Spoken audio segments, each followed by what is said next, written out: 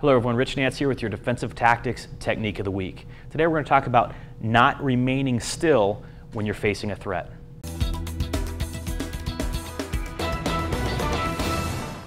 Frank, we all know that a, a, moving target is harder to hit. So if we're in a gunfight or, or in a fight period, if we're moving, we're going to be harder for the bad guy to hit. You know, when you're talking about shooting, it's also harder for us to hit what we're aiming at if we're moving. That's why we have to train it. But it's twice as hard if the target's moving while we're moving. Which is realistic. And, and I love it when we see trainers who teach static positions to shoot from for maximum stability, and it's great if you have that option and wonderful cover and no exposure. But the reality is, when they're shooting at you, you're moving, unless you've got that phenomenal cover that you're behind. And while you're moving, you're trying to shoot at them. And unless they're complete morons, and a lot of criminals are, but unless they're complete morons, they're moving too. Two moving targets shooting at each other. It's no wonder we have that 20% hit rate in actual shootings.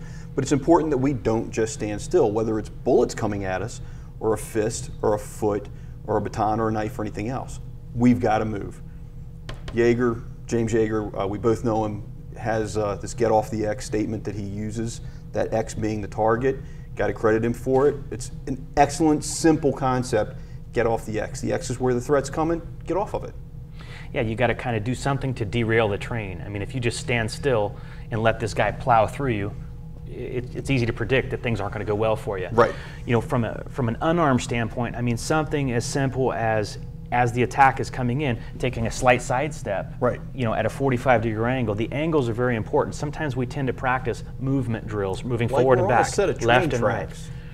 Yeah, exactly. So just that slight step may help you. Uh, if I stand still, I may get hit with your punch, but a slight step, also move my head a little bit and parry, right. that may be all that's needed to avoid it. And it doesn't matter whether we block it, duck it, get out of the way of it, whether it's a punch, a kick, or a bullet the miss is all we're after. Exactly. And it won't occur.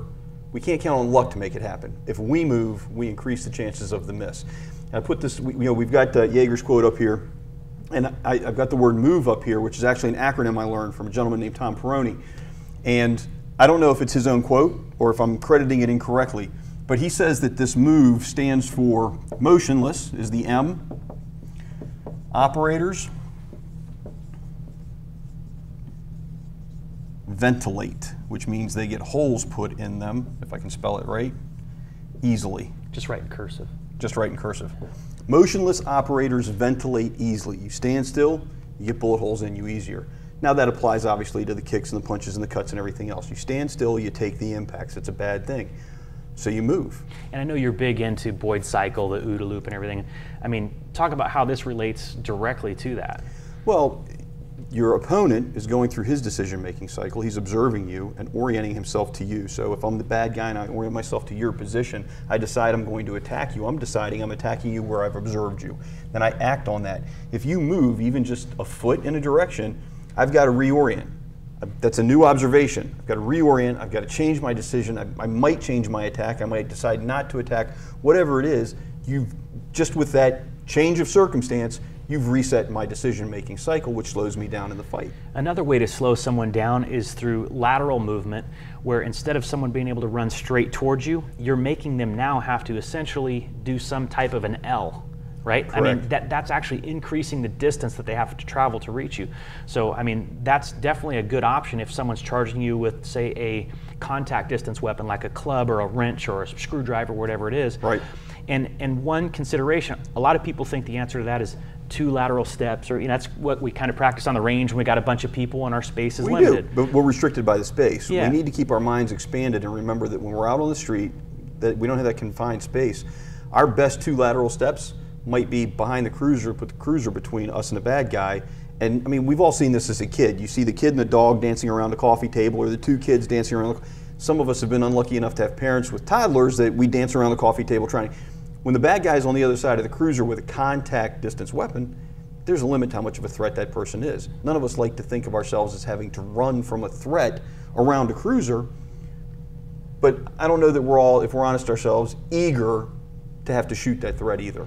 You're uh, exactly right.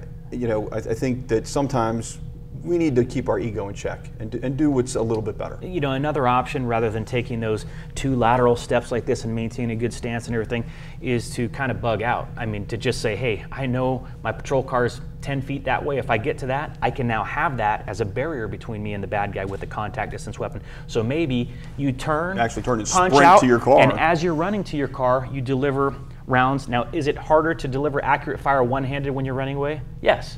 Should you practice that on the range so you know what you're capable of? Yes.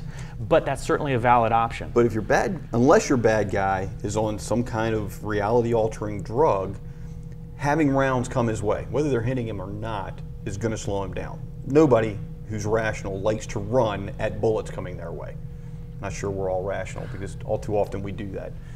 But you got to move. As Yeager said, you got to get off that X. It's just no matter what type of fight you're in, movement is. I, I think I've heard this before too from some prominent instructor whose name I don't recall. Movement is your salvation. I mean, when Certainly you're moving, the beginning of it. there you go. So don't stand still. Make sure you're using movement to your advantage.